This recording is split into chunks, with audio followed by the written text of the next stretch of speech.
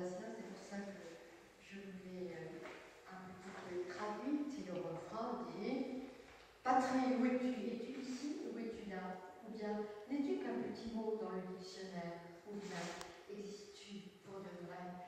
Aussi vrai que vont les rêves jusqu'au bout de ces nuages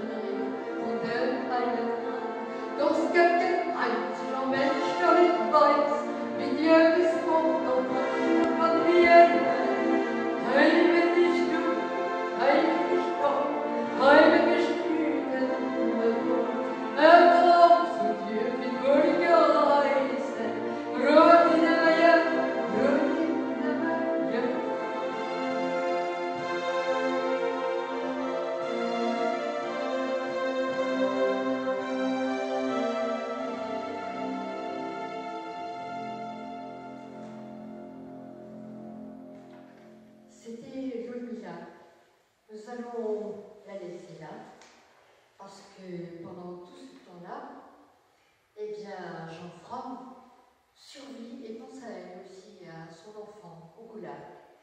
Cela lui donne la force, car ce qui nous donne la force, c'est justement le souffle. Le souffle, ce sont ces images, ces rêves, cette, ce désir, ce qui nous pousse vers l'avant, ce qui nous lance vers les autres, ce qui nous fait espérer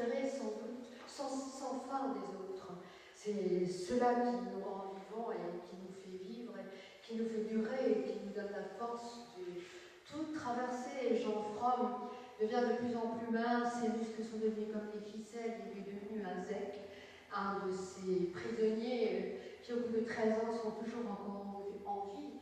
Euh, on dit bien que là-bas, à le goulag, euh, pendant un mois, c'est l'été, et pendant Il est devenu, il a appris à devenir plus dur que le malheur et plus doux que les fleurs de pommier lorsqu'elles rentrent au cœur du cœur, là où rayonnent les visages des gens qu'il aime. Il sait, il sent qu'il reviendra, qu'il reviendra. Il sait que cette histoire finalement est destinée à nous éprouver pour voir si vraiment nous sommes aussi forts que nous croyons.